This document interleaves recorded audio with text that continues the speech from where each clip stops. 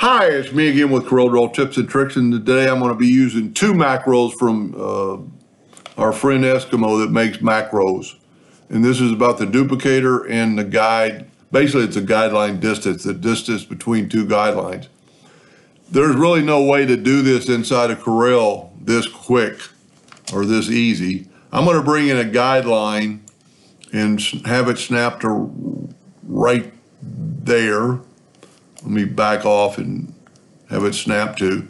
So we need to move this whole thing over this far to make a duplicate. And if you see, you know, we make a duplicate and move it to this line by hand, it fits right in there. So we need to know the distance from that. So we have this macro right here, and we're going to select and hold down the shift key and select those two and we got 2.55. So we're going to set the offset to the right, 2.55.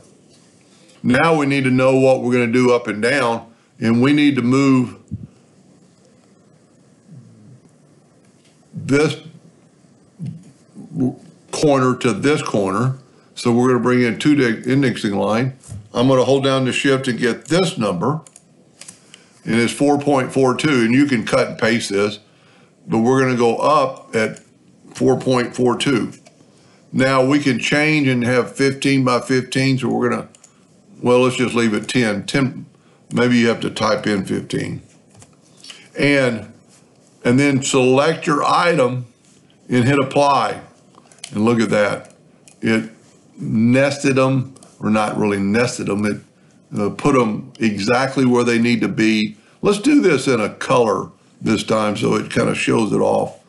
Let's uh, smart fill this one in with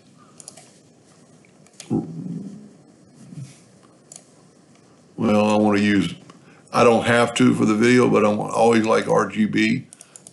And then let's take another color and make it blue and kind of fill this in. Now we're going to select these two and apply and look at that. Uh, you know, there's a way in Corel to do them one at a time, horizontal, then vertical, but not really. That's called step and repeat, and they have a step and repeat here, but this is called array. So I'm going to leave a link to both these video or both these macros at the bottom of my video, and you can change. You know, you can. There's a lot you can change with this. Um, you know, space between. You know, you could have. Um, a certain distance between them, you know, if you wanted to or whatever.